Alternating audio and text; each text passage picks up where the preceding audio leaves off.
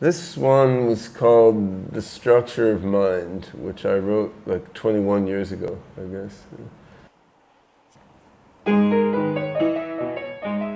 The particular question that people debate a lot is that will we ever build a self-aware AI? What is this object?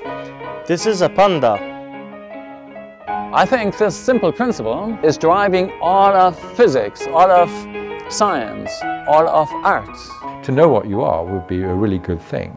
Humans are just one point in a space of possible mind. Ooh. That's a very that's a very surprising move. I thought it was I thought it was a mistake. But wait, we knew what it was designed to do start to finish. Play, go. What about a machine that can write its own code, change its own nature? What would that look like? Intelligence. Mudrost. Love.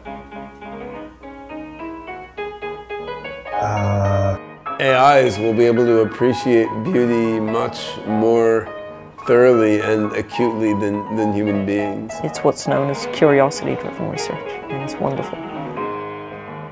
I'm not saying that this is bad, I'm saying it's not enough. It's possibly quite literally uh, insane. Our minds are, that there's nothing magical in there. What does it take to say that something has a mind? The question is, can we build it?